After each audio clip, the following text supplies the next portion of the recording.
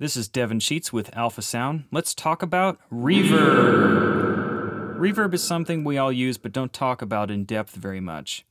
I want to show you the differences between at least four categories of reverbs that you'll probably encounter, and then go into some detail about my favorite, the impulse response convolution reverb. So, the first type of reverb is natural acoustic reverb, the kind you hear in real spaces like this. Now, unfortunately, you don't have a lot of control over that type of reverb. You can try to reposition the stage and the speakers and the audience a little bit in the room. Maybe you can rent pipe and drape and put it along the walls to reduce the reverb. Uh, if you want to extend it, you can use something like Yamaha's AFC technology, which uses tiny microphones and speakers all around the space to re amplify the natural sound back into it.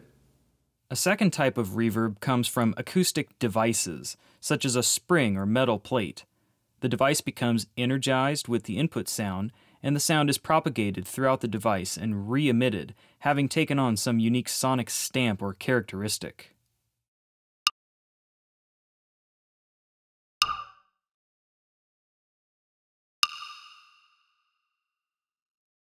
A third type of reverb is digital reverb, which uses a mathematical algorithm to place a unique sonic stamp or characteristic on the input sound. So, much like how the second type works, this is a mathematical device.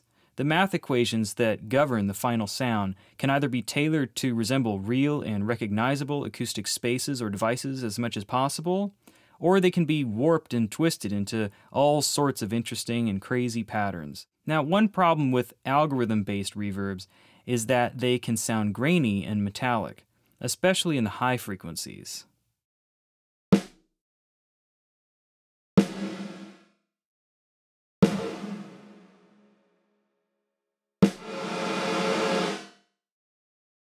And so, a fourth type of reverb is the digital convolution method, which seeks to take a recording of a real acoustic space and make a sort of digital snapshot or imprint called an impulse response, which can be used to shape an input sound such that the resulting sound is as if the input sound had really been recorded in the real acoustic space. The process of applying the imprint to the input sound is called convolution. To understand how this method works, imagine a bat using sonar to scan the shape of a room.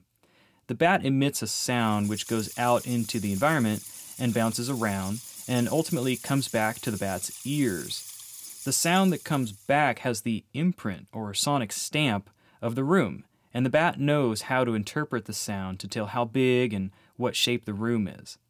Now, if we could use microphones to record the sound of a single bat screeching one time into a room, we could use that audio file as an impulse response for our reverb. The software would take the incoming audio signals, like a percussion track, and break the sound up into tiny little bits, and then take each bit and stretch it out over the impulse response file until they all take that shape and then recombine or convolve all the newly formed audio bits in order again so that the drum sounds like it was in the room, just like the bat. However, not only will the drum take on the characteristics of the room from the impulse response file, it'll also take on the characteristic of the sound that was emitted into the room in the first place.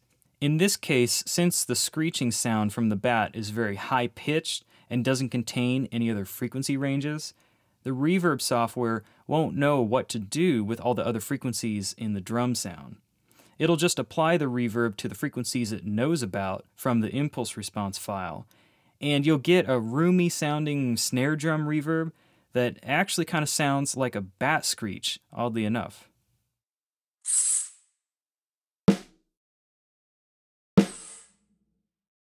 So when you're making an impulse response of a room, which you can do with something like Logic's impulse response utility, you need to use a device to emit the sound impulse that has a wide and neutral frequency response. Lots of people have used gunshots or balloon pops or clapping or even speakers bursting out white noise. These are okay, but still have some characteristics of their own.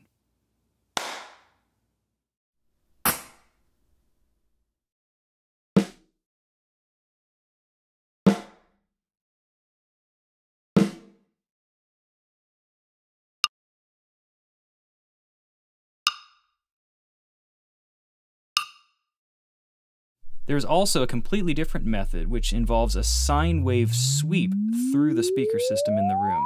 If this method is used, the software knows to take the recorded impulse response and time stretch it per frequency so that the beginning points of all the frequencies in the sweep line up with each other and sound like one big burst of noise again.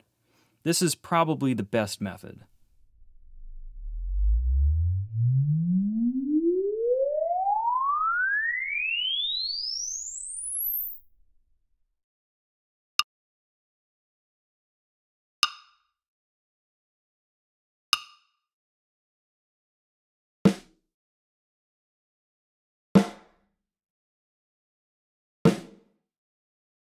It's also important to understand that the location in the room of both the sound impulse device and the microphones used to record can greatly affect the sound of the reverb. If the microphones are really close to the sound impulse, their reverb will have a lot more direct sound from the snare drum in this case. And if the microphones are far away from the sound impulse, their reverb will be much more ambient and detached.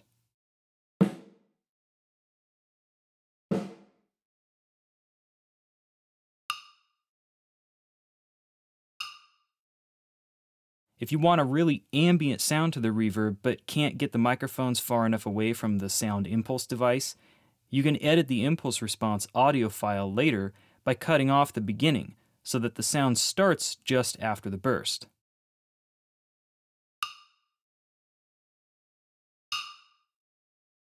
Also, sometimes certain rooms sound great in a particular frequency range, but not in others. You can mix impulse responses from different rooms, crossing them over with each other so that the mid range might have the sound of one space, but the high frequency has the sound of another. This is great for vocal reverb where you might want the sibilants to have a longer reverb tail than the mid range. Or maybe for an interesting orchestral or choral reverb, you want it to get darker as time goes on, so you can automate an EQ filter and apply it to the impulse response file.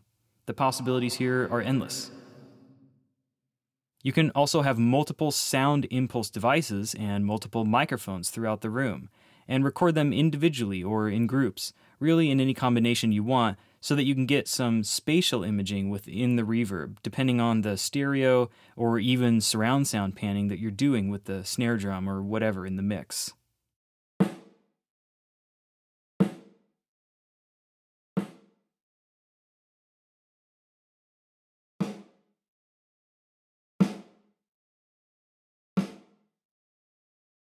Now, impurities in the impulse response recording can sound really strange. If you're doing the noise burst method and say somebody coughs during the recording, your snare drum reverb will have a kind of coughing sound in the background.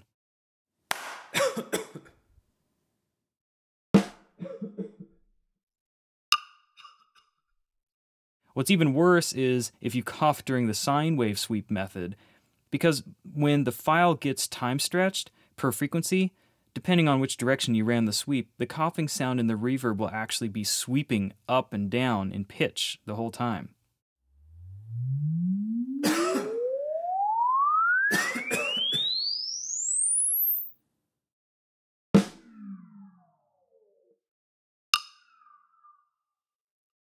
So it's really important that you have a very silent environment when you make an impulse response, and that your sound impulse device is full range and really neutral. Unless, of course, you want the reverb to also take on the characteristics of the sound impulse device, like our bat screech from earlier. Or what if I just use the sound of my voice as an impulse response file? Check. Remember that all the traditional aspects of reverb manipulation also apply to impulse responses. Adding a bit of silence to the beginning of the file creates what is normally called initial delay in reverb settings.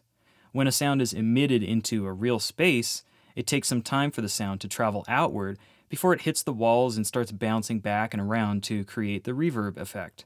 The larger the room, the longer it takes, and so adding more initial delay can create a sense that the space is even larger perhaps than the actual sound of the reverb itself would suggest.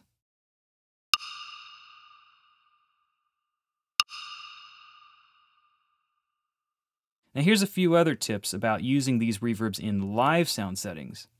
Reverbs with a lot of direct sound in the impulse response file can be susceptible to feedback in speaker systems, because feedback is when the same sound gets reamplified through the speakers and microphones over and over again without much change.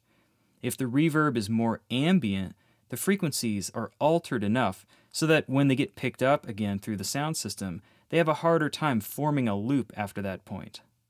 Also, if you're using surround sound effects for a larger audience, be aware that people who are sitting closer to one of the surround speakers might hear a lot more reverb than anything else, and there could be a significant time delay between what they hear in that speaker and what they hear from the main speakers way up front. So I choose a reverb that is generally very ambient, or at least ambient in the surround channels when I'm mixing for larger audiences. However, in some situations, I actually do use surround reverbs that have a strong direct image and a very short reverb tail. Because let's say that I want to spread the snare drum around the audience. If I just take the raw sound from the snare mic and pump it through all the surround channels, there could be all sorts of strange phasing issues in the audience, which is a particular problem with sounds that are exactly the same piped through different speakers. Using a very short reverb can add just enough variance to the sound in the different surround speakers that most of the phasing effect can be avoided without adding too much noticeable reverb as an effect. I even use short surround sound reverbs as processing for my master outs from the console at some events, so that everything goes through them, and that way nothing ever sounds out of place because everything the audience heard all night had that characteristic, and as far as they know, it's just the sound of the venue. Another really cool trick, if you can manage it, is to use the sound system in the venue as a sound impulse device to create your own impulse response of the very room that you're in. Then, if you want, you can go into the impulse response file and stretch it out in time a little more using something like Logic's flex time tool, and then use that as your reverb for the show so it blends with the space really well.